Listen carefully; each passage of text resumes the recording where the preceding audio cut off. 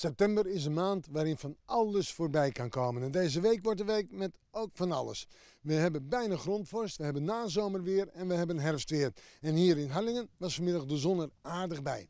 Wel, vanavond een zonsondergang. Een fraaie zonsondergang, daarna een snelle afkoeling. Vannacht richting 6 tot 10 graden. In het oosten rond 4 graden met bijna voorstaande grond. Of misschien wel wat echte voorstaande grond.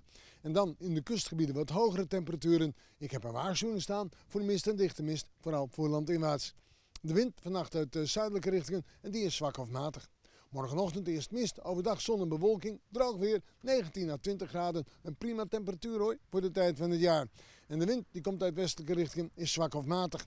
Kijken we naar de avond, een fraaie zonsondergang en dan op naar woensdag. Een fraaie dag hoor, een nazomerdag met heel veel zon en 20 tot 22 graden. De wind uit het zuidwesten matig tot vrij krachtig. Ja, en dan op naar de nacht. Nog altijd droog, op donderdag en vrijdag is het anders, de vooruitzichten. Donderdag en vrijdag herfstachtig weer met een temperatuur rond 18 of 19 graden. Buiig, een harde wind, windstoot in kracht 8 geldt voor de donderdag. En dan op naar zaterdag de verbetering met nog een bui in het noorden, verder droog en 20 eh, graden. En zondag wordt ook een volle nazomerdag. Morgen veel meer over het weer. Morgen. Tot morgen.